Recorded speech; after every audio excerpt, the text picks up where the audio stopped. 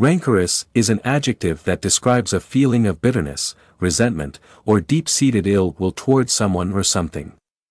When someone is described as being rancorous, it suggests that they harbor strong, often long-lasting feelings of hostility or animosity.